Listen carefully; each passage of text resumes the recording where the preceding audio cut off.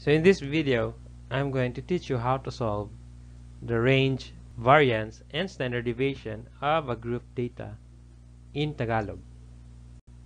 So halimbawa may given group data tayo, ganito. So ito ay group data kasi naka-interval yung data from 10 to 12, 13 to 15, and so on. So yan ay group data. Tapos, we will find the range ng group data na to. So, yung formula, range equals UCB or upper class boundary. So, may subscript na H. Ibig sabihin, yan ay highest upper class boundary. Minus the LCB or lower class boundary. Tapos, may subscript na L. Yun yung lo, uh, least lower class boundary. So, yun yung pinakamaliit na lower class boundary. So, ibig sabihin, gagawa tayo ng column na class boundary. So, ano nga ba yung laman ng class boundary? So, same yan ng interval. So, kada interval may lower limit at saka upper limit. Yung lower limit, yun yung 10, 13, 16, 19, 22. So, yun yung mga numbers sa left side ng interval. Yung upper limit, yun yung nasa right side, yung 12, 15, 18, 21, 24. So, sa class boundary, yung lower limits, subtract mo lang ng 0.5. At saka, yung upper limits, add mo lang ng 0.5 para makuha yung class boundary. So, dito sa first row, yung 10 to 12 magiging 9.5 at saka 12.5. So, bakit naging ganun? Kasi yung 10, nag-subtract tayo ng 0.5. Sa 12, nag-add tayo ng 0.5. So, subtract 0.5 at saka add 0.5. So, sa second row naman, naging 12.5 at saka 15.5. So, yung 13 minus 0.5, 12.5.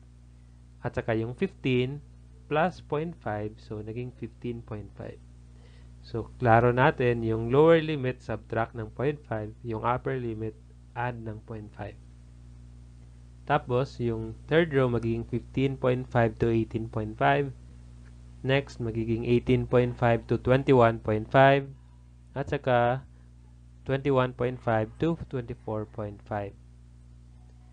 So, sub substitute na natin sa ating uh, formula, yung upper class boundary na highest is yung 24.5. At saka yung least na lower class boundary is yung 9.5. So, yung range natin is 15.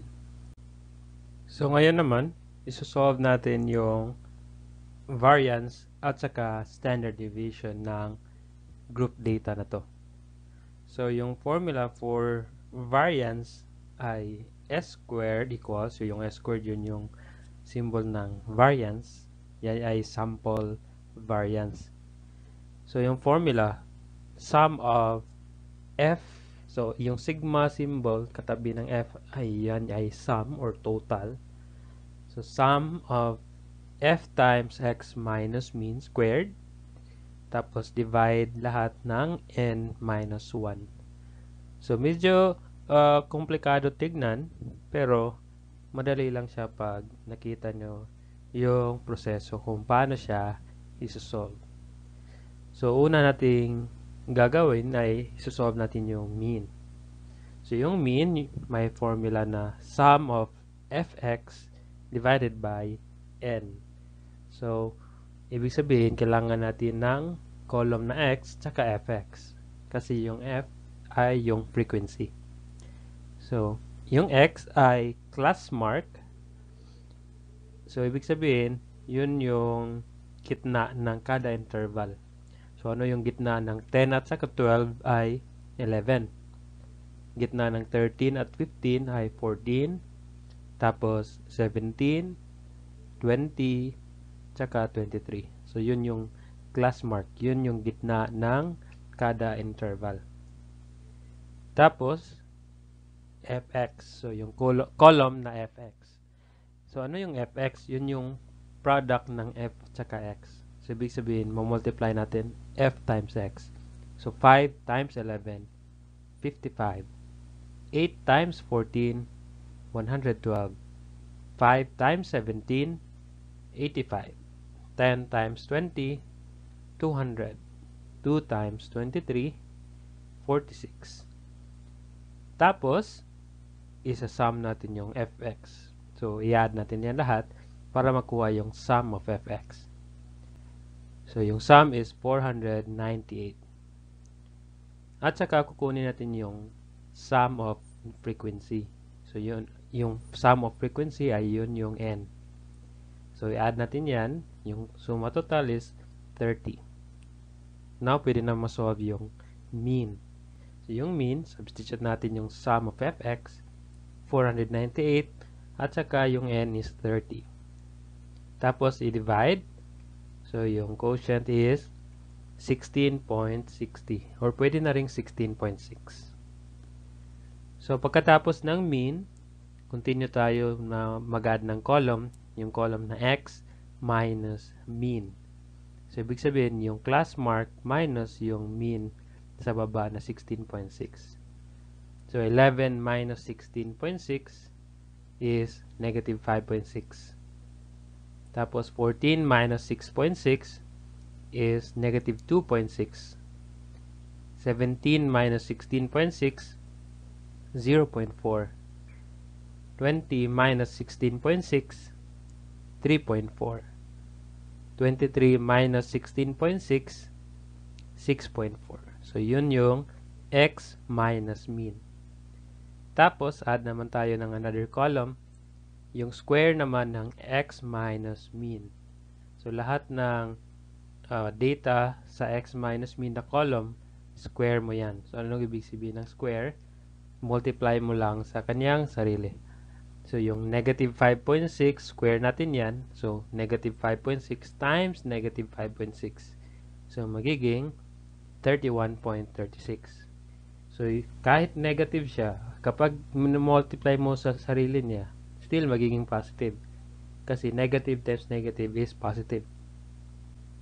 So, square of negative 2.6 is 6.76. Square of 0.4 is 0.16. Square ng 3.4, 11.56. Square ng 6.4, 40.96. Tapos, yung panghuling column is yung f times square of x minus mean. So, yung f, yun yung frequency, tapos multiply natin sa values ng square of x minus mean. So, limbawa, sa first row, yung f is 5, tapos yung square of x minus mean ay 31.36. So, multiply natin yan. Yung product is 156.8.